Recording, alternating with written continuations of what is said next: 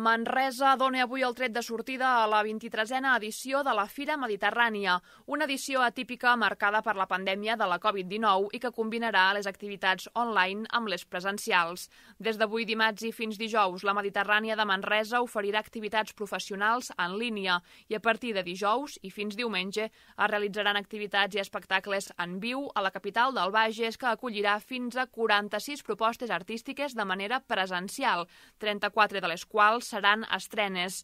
A la Fira d'enguany hi participaran 56 companyies i d'aquestes 41 són catalanes. L'espectacle inaugural serà dijous, dia 15 d'octubre, a la Sala Gran del Teatre Cursal a les 9 del vespre.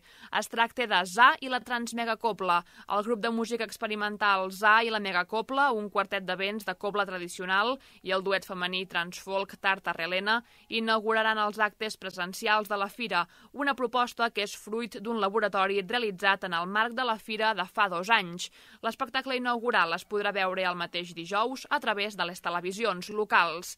La fira oferirà fins a 60 funcions artístiques repartides en 13 espais i obrirà i tancarà amb brots transhumants, una transhumància artística per reflexionar sobre la mirada a l'entorn, al territori i la terra, a càrrec del músic Arnau Ubiols, el ballarí Magí Serra i el creador audiovisual Pepe Camps. Les propostes de la Fira d'enguany pretenen fer una mirada d'arrel amb una programació articulada sobre tres grans eixos, mirada, joves i present.